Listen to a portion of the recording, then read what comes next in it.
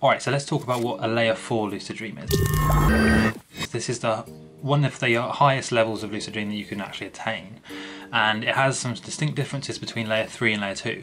So firstly let's just recap. Layer 1 is just the base level, you're just having a normal dream. Layer 2 is where you're semi-lucid, so you're sort of aware that you're dreaming but you're not really in control of what you're doing, okay? And then layer 3 is where you're having a normal lucid dream, so you're dreaming, you're aware of the fact that it's not real, and you're able to sort of decide what you do. By the way, before we get on with this video, please just go ahead and subscribe. It'll take two seconds and then you'll get all the updates for my future videos. Like I said, I'm doing daily videos now, so you really don't want to miss these. Anyway, on with the video. Now layer four is where you're lucid, you're in control, you're aware that it's a dream and you're at a higher level of control and there's not really um, a sort of linear way of deciding whether you're actually a layer 3 or a layer 4. It's really just down to how much control you feel like you had.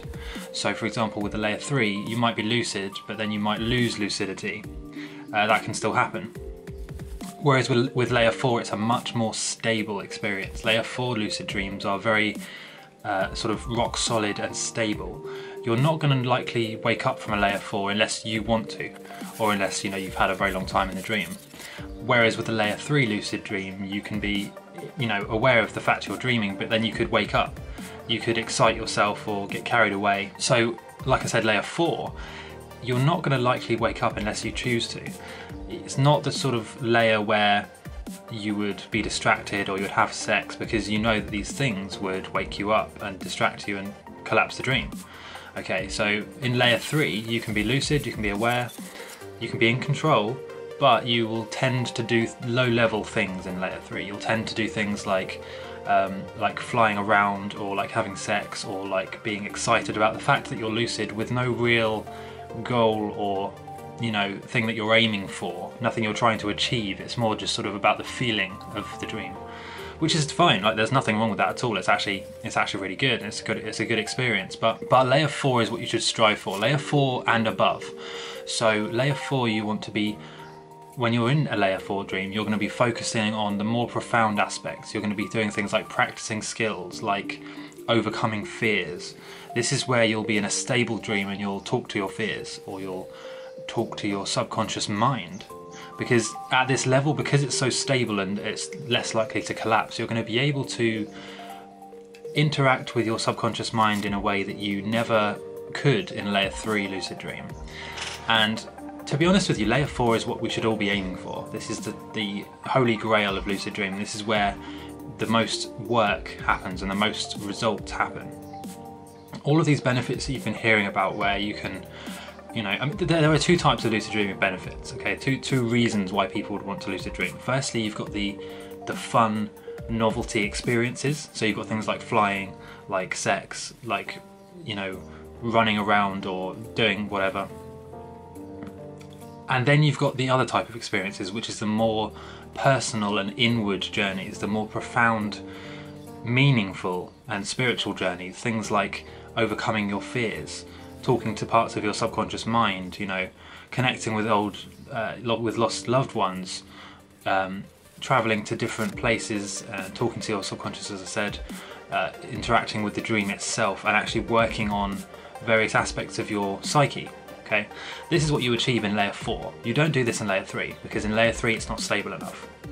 So if you're in layer three and if you're just normally lucid, there are a few things you can do to get to layer four. Uh, so firstly you've got stabilization. You can do things like spinning around on the spot, like meditating in the dream itself, like gathering chi energy. Um, you can do things like rubbing your hands together.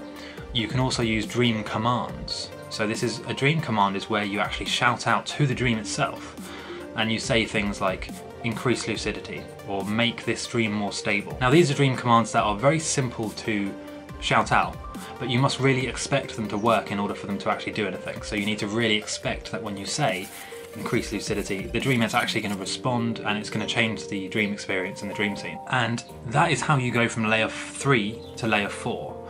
Just by doing these techniques and these, you know, doing these stabilization methods, you're going to go from one lucid dreaming layer right to the next layer.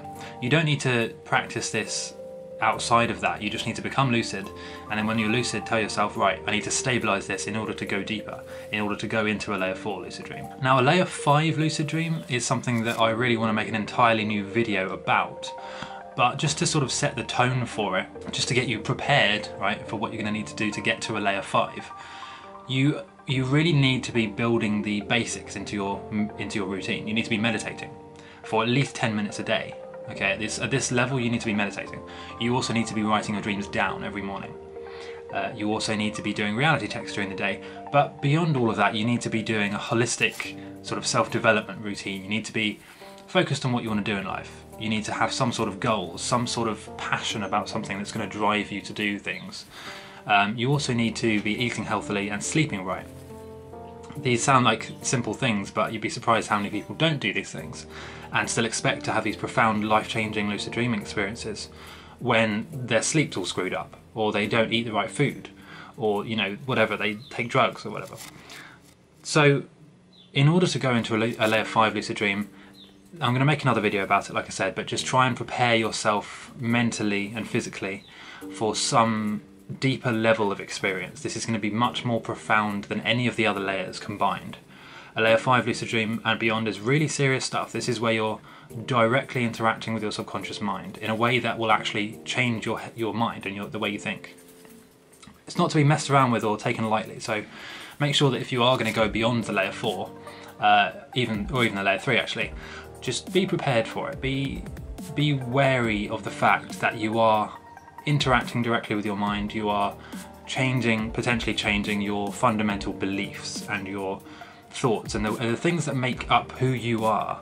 You're going to be actually interacting with these things on a direct sort of one-to-one -one level. Anyway, so to recap, a layer four, you're lucid, but you're much more stable. You're in control, but you're not being distracted by things that would collapse the dream.